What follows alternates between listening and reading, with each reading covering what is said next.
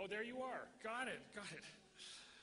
I'm going to follow the, the same pattern to give Ralph the maximum amount of time possible. I'm not going to give his credentials. They are many. You should look in your, in your uh, booklet there to find out what his credentials are. We're really pleased to have Ralph with us this year. So we're going to turn the time over to Ralph Hancock. Yeah, I'll set my timer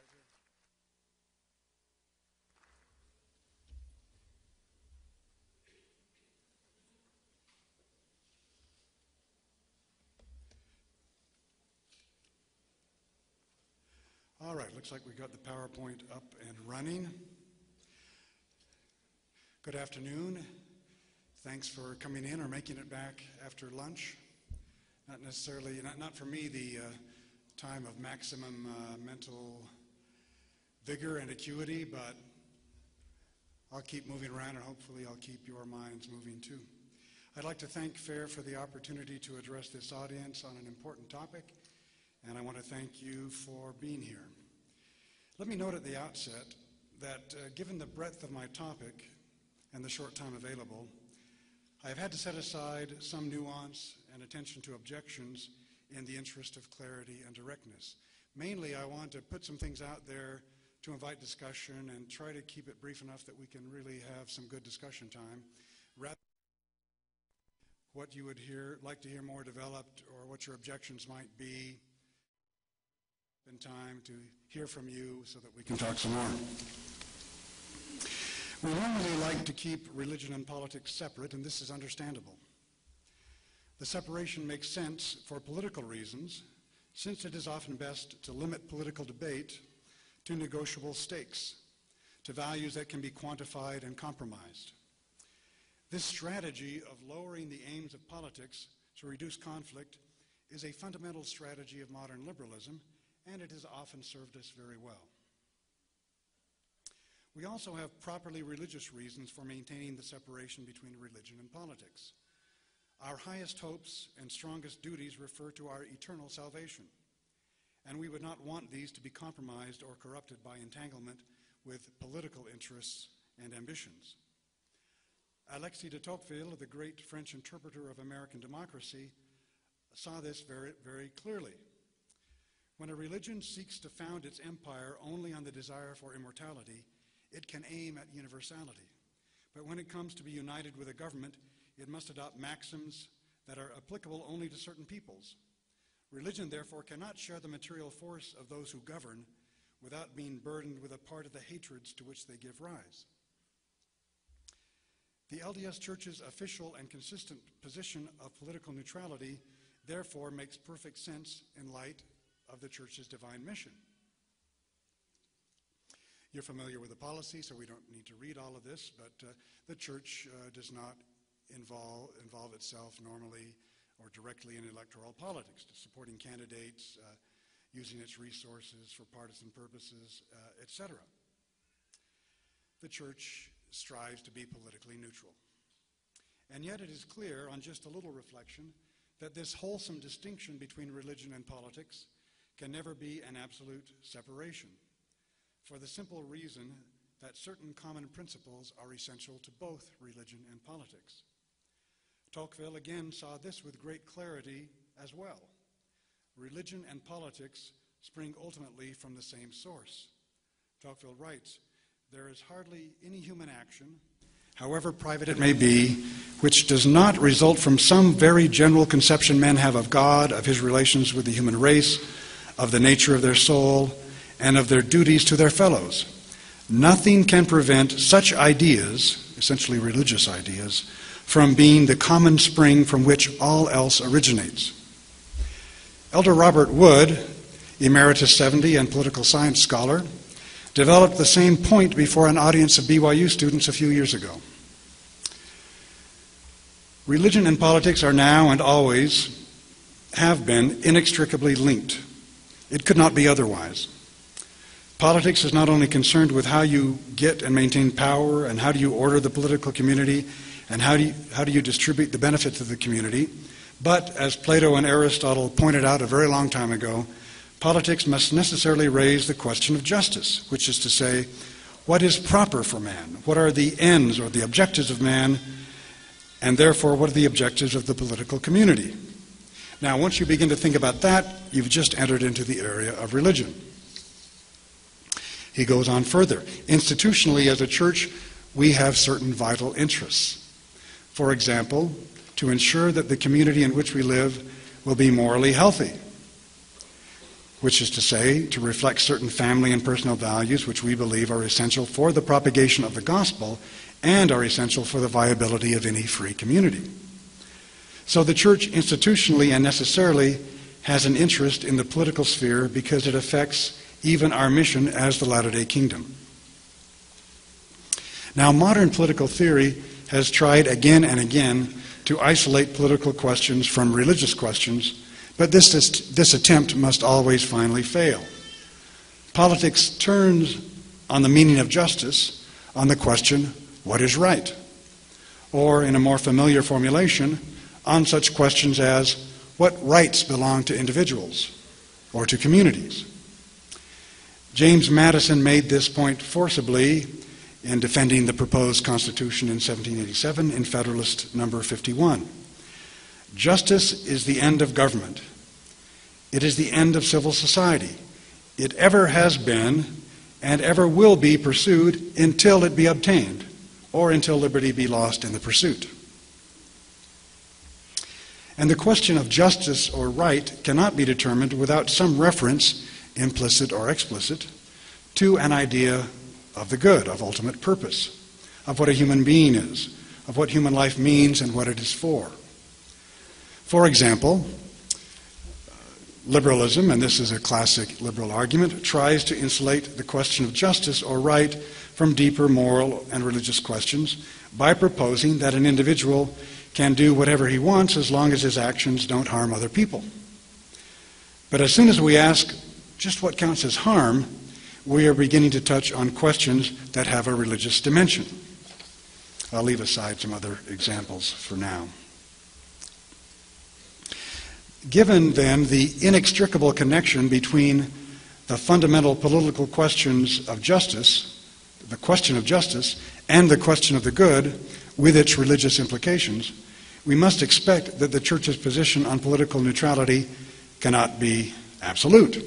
And so, if we look at the Church's official statement on neutrality, we will see that, in fact, the Church not only encourages its members to play a role, uh, taking their uh, teachings and values uh, with them as citizens, uh, more strikingly still, the Church reserves the right as an institution to address in a nonpartisan way issues that it believes have significant community or moral consequences or that directly affect the interests of the church, which is really a pretty broad uh, exemption, you might say. The church uh, cannot be neutral when vital moral and religious interests are concerned.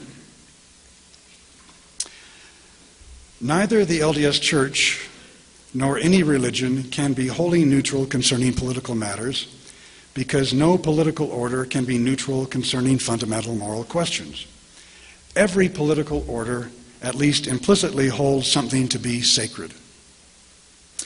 This was affirmed by John Stuart Mill himself, who might well be considered the founder of contemporary liberalism. This is written about 150 years ago. In all political societies which have a durable existence, there has been some fixed point something which men agreed in holding sacred, something placed beyond discussion. If John Stuart Mill is right, as the whole tradition of political philosophy would confirm, then even the most pluralistic and officially skeptical or secular regime or political order holds something sacred. In other words, there are some things that even Jon Stewart won't laugh at. What does contemporary liberalism hold sacred? Before tackling this question, let us first, to avoid misunderstanding, seek some clarity concerning the term liberalism. What is liberalism? Well, as is obvious, liberalism is about liberty or freedom. And to be more precise, modern liberty is about the close connection between equality and freedom. Modern liberty aff- affirms equal freedom and free equality. Equal liberty is the essence of modern liberty, modern liberalism. A classic statement of the liberal understanding of politics can be found, for example, and I'm not going to cite them just to refer you to them, they can be found in the constitutional arguments of the American founders and in their philosophical sources, especially the English philosopher John Locke. In a broad classical sense, then, I think we could fairly say that we are all liberals now. We know the value of a written constitution that respects individual rights, limited government, etc. Indeed, conservatism, as we call it, at least in the United States, is bound up with liberalism in the classical and practical sense, the sense of the American founders, since it is this liberalism that conservatism means to conserve. Conservatism is about conserving a certain understanding of liberalism. But the new liberalism, the new liberalism I want to address, goes far beyond this general classical political liberalism to make claims, rarely acknowledged as they may be, uh, that try to define the meaning of human existence, to answer essentially religious questions about human purpose this new liberalism attempts to replace a traditional view of what is sacred with a radically new understanding of human existence. To make clear this distinction between older and newer meanings of liberalism, I propose to trace this distinction to a difference between practical and theoretical liberalism. Practical liberalism is compatible with a traditional and religious view of morality and the family. In fact, practical liberal, liberalism presupposes the family. Theoretical liberalism aims to replace traditional morality with its own view of human meaning. Practical institutional liberalism limits itself to political questions in the narrower sense. It affirms certain definite individual rights, limited government, constitutionalism, the separation of powers, and is designed to encourage and to work within the social context of a pluralism of interests and of opinions. But this uh, pluralism within a society of practical liberalism is not absolute, since it assumes a common tradi- traditional framework of private morality, supported by a variegated but morally consistent religious belief. Practical liberalism, including the liberalism of America's founders, took for granted the necessity of traditional morality in forming the character of citizens in a republic. And despite important differences among the founders concerning the role of institutional religion, all the founders saw religion as an essential positive force in Republican self government, and moreover, as an expression of the ennobling human interest in a higher truth, a truth above human making. There can be no more mainstream or consensual statement of the founding generation's positive view of the role of religion and religious morality in society than that of the father of our country, George Washington, who wrote in his farewell address Of all the dispositions and habits which lead to political prosperity, religion and morality are indispensable supports and great pillars of human happiness, the firmest props of the duties of men and citizens. Hardly anyone, or anyone of influence in 1787 or for a long time thereafter, would have considered Washington's warm endorsement of religion and religious morality as in any way controversial. Even Thomas Jefferson, who was much more suspicious of traditional Christianity than most, and certainly a free thinker in his time, even Jefferson never questioned the status of traditional morality under a free and republican government. In fact, Jefferson himself approved of criminal penalties for gambling, bigamy, and homosexual conduct, just for example. My point here is simply to emphasize that all the founders agreed on what Tocqueville called the indirect role of religion in American politics. And what Tocqueville meant by this was precisely the role of Christian morality in sustaining the stability of the family in the midst of a democratic society in constant movement. Quoting Tocqueville again Of all countries in the world, America is the one in which the marriage tie is most respected and where the highest and truest conception of conjugal happiness has been conceived. Could make one a little nostalgic, I suppose.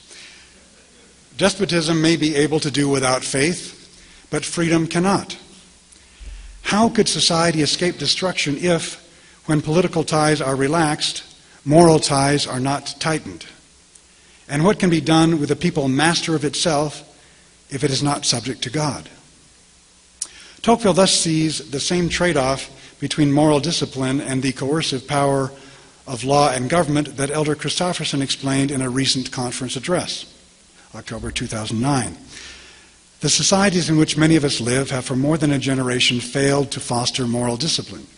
They have taught that truth is relative and that everyone decides for himself or herself what is right. Concepts such as sin and, and wrong have been condemned as value judgments. As the Lord describes it, every man walketh in his own way and after the image of his own good. As a consequence, and here's the point where he really rejoins Tocqueville, as a consequence, self discipline has eroded and societies are left to try to maintain order and civility by compulsion. The lack of, of internal control by individuals breeds external control by governments. Uh, to sum up, then, this part on practical liberalism, practical liberalism, which defined American politics and society for almost two centuries, recognized the dependence, the dependence of political freedom on moral discipline.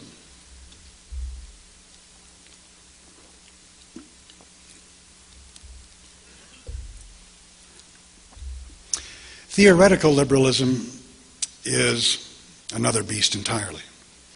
It recognizes no such moral limits. It aims to stand on its own as an understanding of human existence. And so it must cast, cast off all dependence on traditional morality and religion. This theoretical liberalism derives its premise from the radical beginnings of modern thought, going back to the 16th and 17th centuries. This is the radical modern premise. There is no authority above human beings. In America, this premise remained largely buried under the actual moderate and moral practice of liberalism, but it lay there like a ticking time bomb that perhaps eventually had to explode. Now, how does this distinction between practical and theoretical liberalism play out in American history? To telescope a long and complex story, I will simply say that the explosion of theoretical liberalism into the actual practice of American democracy was ignited in the cultural and political upheaval of the 60s and 70s. This explosion of the new liberalism in recent decades may account for Elder Hales' observation in the most recent General Conference that the gap between the church and the world has gone from this big to this big and bigger. There's been a cultural explosion, uh, uh, casting off limits of the, own, of the old practical liberalism. Now, as to the precise claims of this new liberalism, we could cite fundamental texts of 60s liberationism, such as the philosopher Herbert uh, Marcuse's potent, if inconsistent, blend of Marx and Nietzsche. But the United States Supreme Court has spared us the trouble of chasing down philosophical sources by reading right into the Constitution the radical doctrine of the liberation of the individual from any authoritative moral context, context or any higher power. A remarkable and authoritative statement of this theoretical liberalism is this amazing pronouncement by Justice Anthony Kennedy, writing for the majority in uh, Planned Parenthood versus Casey, an abortion case, of course. Okay, get this. At the heart of liberty is the right to define one's own concept of existence, of meaning of the universe, of the universe, and of the mystery of human life. The right to define one's own concept. Here, the U.S. Supreme Court, or rather five members of it, constitute themselves high priests of the new liberalism by presuming to answer for the American people the ultimate question of what is to be held sacred. What is the character of the ultimate moral authority? Their authoritative answer is that the meaning of existence is the individual's own power to define the meaning of existence, as unlimited by nature or by God.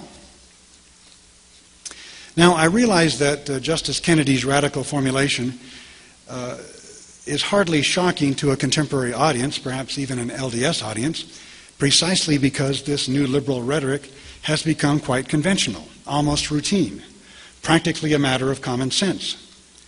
But let me note that there is a huge and momentous step from the celebration of human freedom or moral agency to the emancipation of the human will from any authoritative structure of meaning.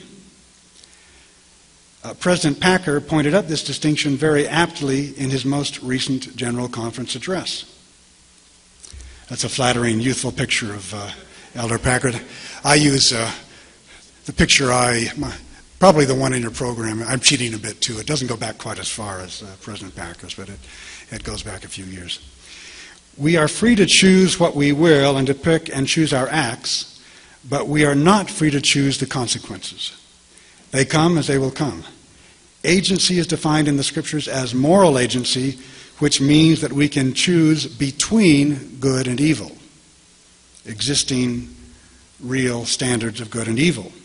Now, to confuse moral agency or the capacity and the duty to choose between good and evil with the right to define good and evil for oneself, that seems to me to be a very big confusion. It seems clear to me, moreover, that the founders would have clearly understood the modern Supreme Court's appeal to a radically individualistic right of privacy as part of a broader political agenda to substitute a new religion of individual self expression for the traditional religion that the Founders' Constitution presupposed. And it should be noted further that this new religion of amoral individualism goes hand in hand with the political project of the unlimited state. As Professor James Stoner, LSU, has written, the sovereign self demands protection by the sovereign state. And the intermediary institutions of society, family, school, business, and soon perhaps church as well, must yield. Yield, that is, to the state. To summarize then, at the heart of the new radical liberal vision is the assertion that there are no permanent authoritative moral truths. As Elder Oaks has said, I believe the diminished value being attached to religious freedom stems from the ascendancy of moral relativism. More and more of our citizens support the idea that all authority and all rules of behavior are man made and can be accepted or rejected as one chooses. Each person is free to decide for himself or herself what is right and wrong. Our children face the challenge of living in an increasingly godless and amoral society. Excuse me.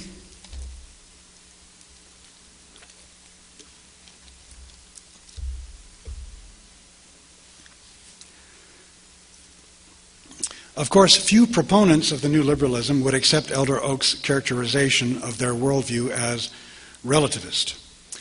Like leading liberals from John Stuart Mill to Justice Kennedy, they surely see themselves as motivated by a distinctive moral vision that they hold to be superior to any traditional morality more rational, more universal, more equal, more progressive, precisely because it is not tied to any particular understanding of natural or divine goods or to the laws, nor is it tied to the laws and limiting commandments that come with such a traditional understanding.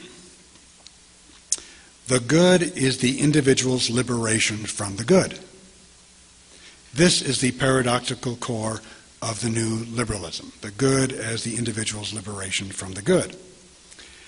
This paradoxical moralistic relativism, at the heart of the new liberalism, expresses itself in a few uh, common rhetorical strategies. One of these strategies is the idea of progress itself. Progress is a very convenient slogan because it makes it possible to defer indefinitely the question of just where progress is supposed to be leading us or the question of the end or the purpose of, product, of progress. The end of progress is never articulated. And so we, we know only concretely what progress is against, what it is we need to move away from, to leave behind, to criticize, to undermine. And what it is we need to leave behind are all traditional moral restraints and in particular all binding norms governing sexuality, the complementarity of the sexes, and the natural definition of the family. Progressive liberalism also tends to obfuscate the difference between the founders' practical liberalism and the new theoretical lifestyle liberalism. Certain fundamental qualitative differences between the old and the new are absorbed into a vague story of progress. A second rhetorical strategy of liberalism, it is undeniable as well that genuine Christian sentiments often accompany expressions of this progressive moralistic relativism. There is such a thing, of course, as progressive Christianity. Most notably, the ethic of compassion allows the denial of authoritative moral standards to appear in moral and religious dress. All you need is love. And there is no reason to doubt the sincerity of the new liberals' concern for their fellow human beings. But here's the problem how can you genuinely care for a person without some understanding of that person's good or of the moral rules that give access to that good? How can the new liberal distinguish a person's true eternal good from whatever seems good or feels good to the object of compassion? True Christian compassion can only mean bringing people to Christ, and this is impossible without obedience to commandments. But the new liberalism eschews obedience to anything but the imperative of individual liberation itself. Finally, a third uh, central motif of the rhetoric of the new liberalism equality certainly appears to function as an ethical norm, and therefore you would think not uh, a form of relativism. But again, can equality be adequately defined without reference to some shared understanding of human nature and of human purpose. As when Martin Luther King Jr. famously called upon us to look past the color of our skin to the content of our character. The content of our character. Very old fashioned sounding phrase now, isn't it? If the principle of equality is applied to moral and religious principles themselves, then our character has no content. And the result is, in fact, relativism. The genius of liberalism and the key to its great power is that it promotes a certain view of the meaning of human existence while claiming to be neutral on the question of the good. The new liberalism pursues a certain moral vision only negatively, without having to take responsibility for any substantive moral principles, and thus it enacts this vision by criticizing, dissolving, and undermining the authority of traditional morality and religion. And so, uh, having uh, laid out the distinction between the old practical and the new theoretical liberalism, I come to my most important point, uh, which seems to me rather obvious, but I've learned is somehow, in fact, quite controversial, at least among intellectually or culturally ambitious Latter day Saints. Here's my controversial point. This new liberalism is not remotely compatible with basic LDS beliefs. The new liberalism posits open ended individual self expression, including, including notably sexual expression, however that may be defined by the individual's desires or supposed identity, as a fundamental right, as essential to the dignity of the person. The opposition of this view to the restored gospel could not be clearer, it seems to me. The gospel situates sexuality within a distinctive view of the eternal destiny of the person and subordinates sexual desire and expression to that definite purpose and to the commandments that serve that purpose. It is fundamental to Latter day Saint teaching that the family is eternal and therefore that sexuality must be expressed within the bounds that serve the person's interest in the eternal family. All this and much more is clear to every Latter day Saint who is even passingly familiar with the great proclamation to the world on the family, published under the authority of the First Presidency and of the Apostles in 1995. This proclamation would seem to present an insuperable obstacle to Latter day Saints wishing to reconcile their new liberal commitments with church teaching. Gender is an essential characteristic of individual premortal, mortal, and eternal identity and purpose. I'll skip to the third. Uh, God's commandments for his children is to multiply and replenish the earth, and this remains in force. God has commanded that the sacred powers of procreation are to be employed only between man and woman, lawfully wedded as husband and wife. So to me, the opposition between the gospel and the new liberalism seems clear. But in fact, as I have learned, a significant number of Latter day Saints who consider themselves and would like to be considered faithful are ready to discount the authority of the family proclamation, and much else, I might say, and to subordinate it to the new liberalism that they have adopted as an authoritative moral touchstone. For them, the new Mormon liberals, a practically self evident syllogism dictates this discounting of the proclamation's teaching. The church teaches moral truth. The new liberalism, equality, progress, sexual freedom, defines moral truth. Ergo, what the church really teaches or must one day teach is the new liberalism. A significant division is thus emerging among Latter day Saints. On the one hand, the overwhelmingly the overwhelming majority, I think, of faithful Latter day Saints cherish the clarity and power of the prophetic teaching of the family proclamation. On the other, a small but active, articulate, intellectually ambitious, and mutually reinforcing set of new liberals have redefined the moral core of the gospel to reconcile it with the views now dominant among cultural and intellectual elites more generally. These are self described Mormons who have surrendered the moral citadel that governs basic beliefs about the nature and purpose of human existence to the dominant forces of secular culture. Religion thus becomes a hollowed out shell occupied by the moral vision of the new liberalism. According to this vision, the one fixed sacred point of the moral universe, the one that John Stuart Mill taught us always to be looking for, is the idea of the individual's right to define the meaning of his or her own existence. That is the sacred moral core of the new liberal universe. I would say that Elder Maxwell understood very well, already decades ago, the political implications of this new amoral moralism. Decrease the belief in God, and you increase the numbers of those who wish to play at being God by being society's supervisors.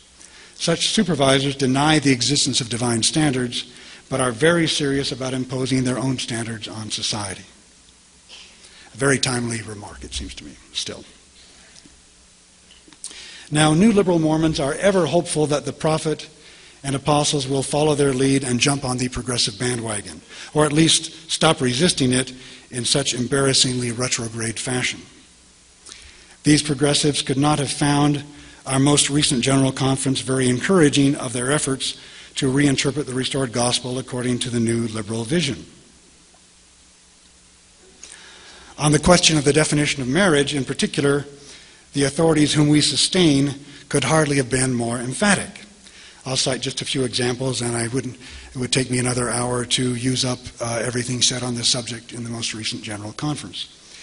Elder Ballard uh, taught, for example, that the eternal happiness of Heavenly Father's sons and daughters is bound up with the differences and complementarity uh, between the sexes. I'm letting you review his statement since you can read it as well as I can. can. Elder Bednar reinforced this same fundamental and distinctive teaching of the restored gospel. The unique combination of spiritual, physical, mental, and emotional capacities of both males and females was needed to enact the plan of happiness. Neither is the man without the woman, neither the woman without the man in the Lord. The man and the woman are intended to learn from, strengthen, bless, and complete each other. Elder Bednar also removed any doubt concerning the sinful nature of homosexual practices, whether or not they are covered by a new legal definition of marriage. Marriage between a man and a woman is the authorized channel through which premortal spirits enter mortality. Complete sexual abstinence before marriage and total fidelity within marriage protect the sanctity of this sacred channel. The church has a single undeviating standard of sexual morality. Intimate relations are proper only between a man and a woman in the marriage relationship prescribed in God's plan. Elder Packer reinforced this same point.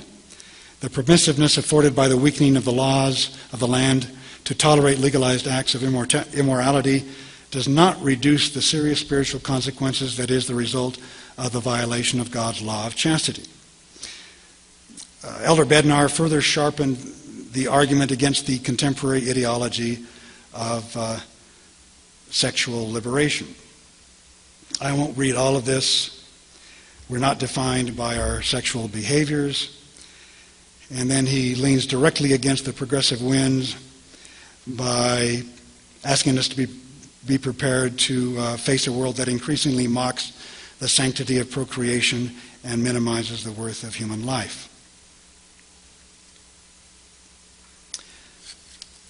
Um, let me move now to some uh, concluding remarks about implications for Mormon apologetics. Mormon apologetics aims not to replace faith, prayer, and obedience as essential to the pursuit of ultimate life giving truth, but to preserve or create a cultural and intellectual climate in which belief may flourish. Today, one of the greatest obstacles to such a climate is the cultural prestige of the new liberalism with its denial of any moral authority above human self expression.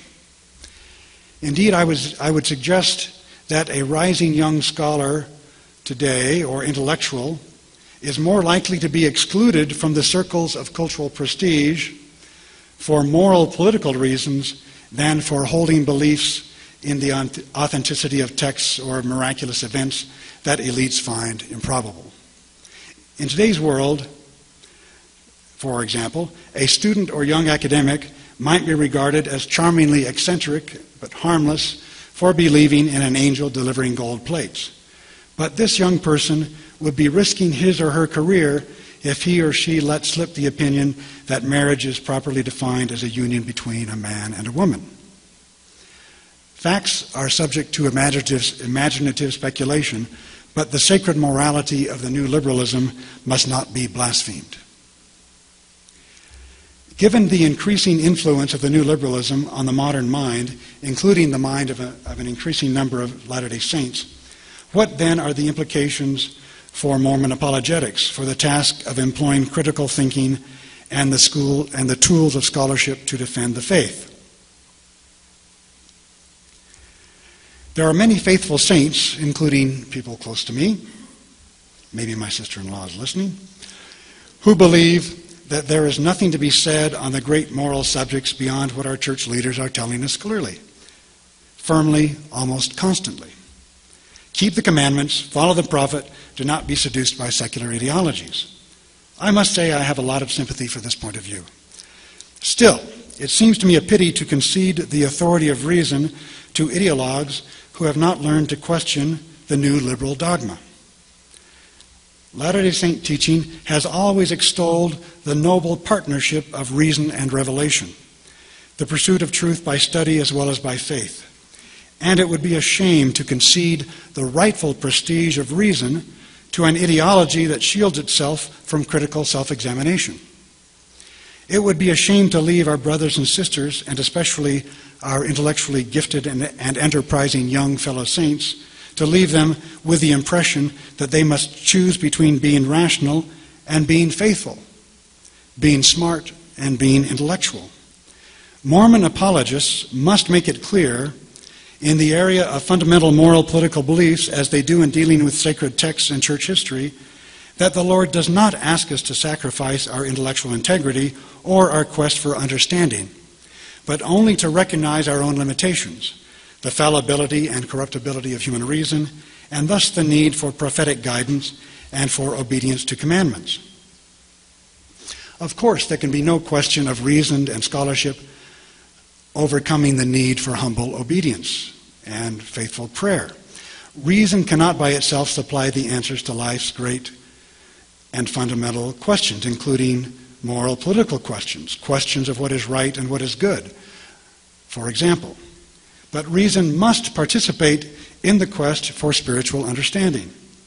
And more to the present purposes, reason can perform the important function of criticizing secular ideologies that unjustifiably claim the prestige of reason.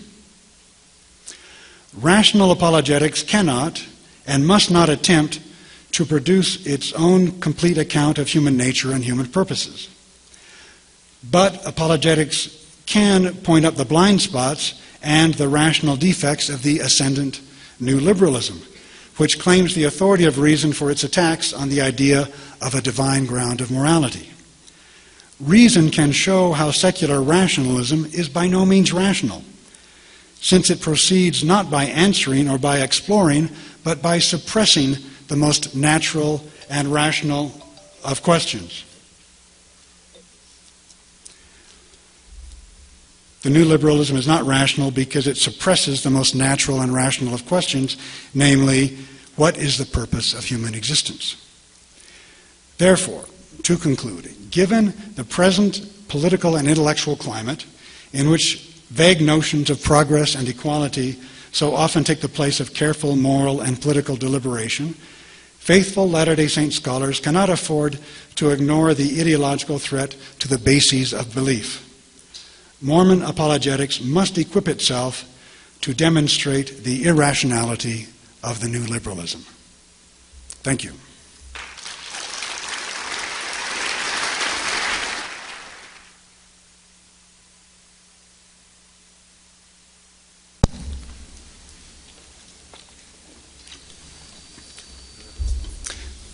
You have no, uh, no announcements uh, while I'm catching with you? Okay.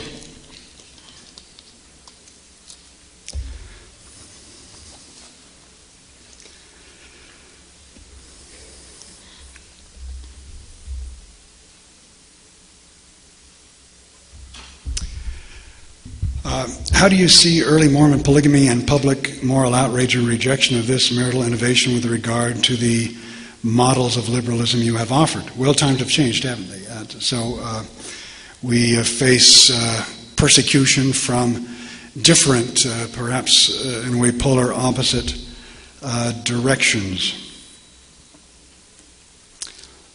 Um, underlying this question, I think, is a, is a reasonable concern about the variability in Latter day Saint teachings regarding marriage obvious uh, difference between the, uh, uh, the doctrine of plural marriage and what is now taught. And I'm not sure I have to account for that. Um, the, the constant is uh, that uh, both of these are opposed to the new liberal ethic of sexual expression. And that's, uh, that's the main polarity uh, that concerns me. Uh, I don't uh, claim to be able to define a, uh, a to, to, define systematically and exhaustively a, a moral religious teaching concerning the family and sexuality and other things. Uh, that is, uh, has been constant in all its details. Uh, I don't accept the burden of that argument, or rather, I want to show that what is new under the sun is the idea that uh, human life and human society can be uh, healthy and fulfilling without any uh, moral, morally authoritative idea governing sexuality and human desire in general.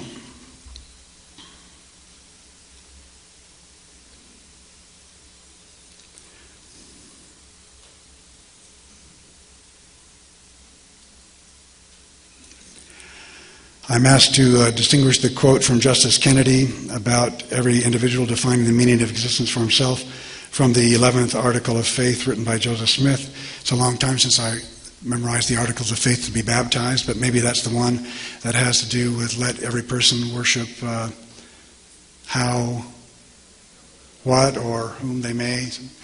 Uh, the dictates of their own conscience? Well, I think uh, Elder Packer made the the basis of the distinction clear. Uh, moral agency involves uh, choosing uh, in a universe framed by good and evil. And I, again, I don't complain a I don't uh, claim a systematic and authoritative knowledge of all the parameters of good and evil, but I believe there are such things, and our duty is to seek out divine standards, uh, not to express ourselves by making up our own.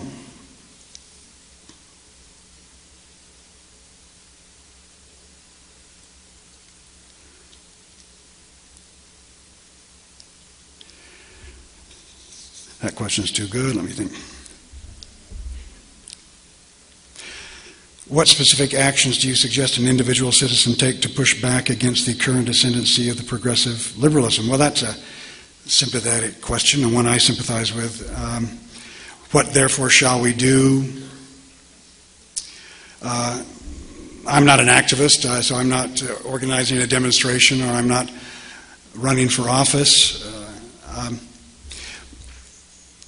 I would say this is very important that um, it's important to fight battles even that we may lose. And I'm very much uh, frustrated, by and opposed to uh, a kind of defeatism that is intimidated by the notion of progress. Things are all going a certain direction, and so we might as well give up. Well, uh, things may or may not go in a certain direction. That, that, that too often turns out to be a self fulfilling prophecy. I mean, things are going in that direction because we accede to the vague notion of progress that they, or change, an even weaker notion, that they must go in that direction.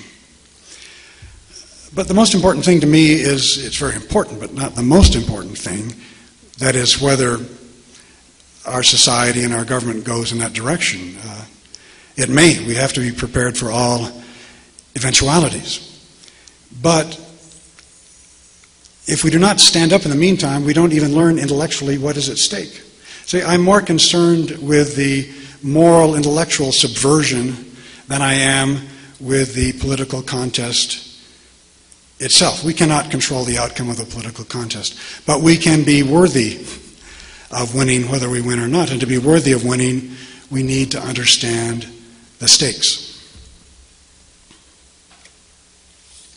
Uh, on the practical political question, I would also point out that I, uh, I don't imagine that there's any direct translation between uh, uh definite Latter day Saint beliefs and public policy. There, there's always a, uh, an, a, an, adjustment that has to be made. We, and we'll find good counsel on these points in recent uh, talks by general authorities such as Elder Cook and Elder Oaks. We reach out to others make political friends who share with us certain values, even though they don't share certain beliefs. So, politics is the art of the best possible. The best we must define in terms of our deepest beliefs. What is possible depends on circumstances and what friends we can make. Is it possible to defend religious values with non religious arguments? Um, well, part of the defense of religious values is to show that the attack on, re- on, religious values is not as intellectually solid as it pretends to be. So I've just explained that we can do that. Um, if religious values could be established by rational arguments alone, then we wouldn't need revelation and prophet. I, I, my argument is, and this goes back to a great uh, tradition, including Aristotle and Thomas Aquinas, that uh, reason can uh, create a space for faith. Uh, really, the essence of the matter is this that reason recognizes its own limits at a certain point, and the most rational response to, a, to the most critical thinking is to open oneself up to a truth that reason by itself cannot produce. Okay.